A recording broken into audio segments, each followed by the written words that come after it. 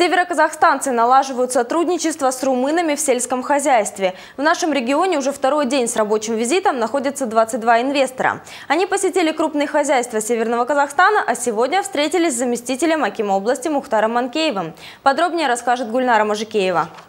На встрече заместитель Акима области Мухтар Манкеев рассказал гостям о развитии сельского хозяйства в Северном Казахстане. В этой сфере у нас есть большой потенциал. Сейчас в регионе более 120 молочных хозяйств. Это позволяет ежегодно перерабатывать до 500 тысяч тонн молока. Успешно развивается и земледелие. Аграрии экспортируют до полутора миллионов тонн пшеницы, 150 тысяч муки, более 200 тонн масличных культур. Это уже показывает, что наша продукция она высокого качества, высокий передел и пользуется спросом за рубежом. Помимо стран ближнего зарубежья, дальние зарубежья у нас, э, включая всю Европу, Азию, ну и, конечно, большой рынок – это рынок России. Что касается животноводства, хочу сказать, что уже заведено свыше 11 тысяч импортного поголовья и создано более 45 племенных репродукторов.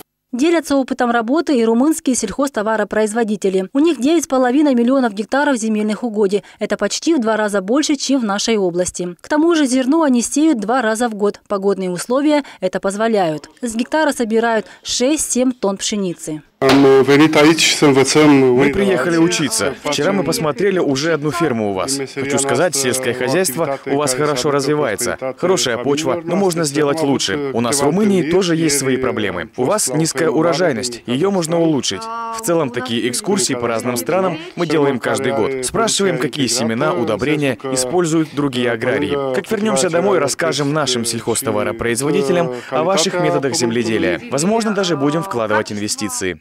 В завершении встречи Мухтар Манкеев поблагодарил гостей за визит и выразил готовность сотрудничать. Он заострил внимание иностранцев на хороших условиях, которые созданы в нашей стране для инвесторов. Румынские сельхозтоваропроизводители посетили ряд крупных хозяйств и обменялись опытом работы с местными аграриями. Гульнара Мажикеева, Казбек Арыкбаев, Новости ТРК.